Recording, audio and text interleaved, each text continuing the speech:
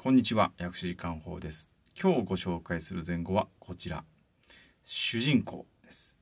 どんな意味かと言いますと自分の中にある本当の自分です。主人公とは一般的にはドラマや映画の主役という意味で使われておりますがこれはもともと前後なのです。では本当の自分というのは一体どこにあるのでしょうか？自分らしく生きるという言葉がありますが自分らしく生きていない時はきっと誰かと自分を比べたり自分の心に蓋をして心としっかり向き合えていないということ。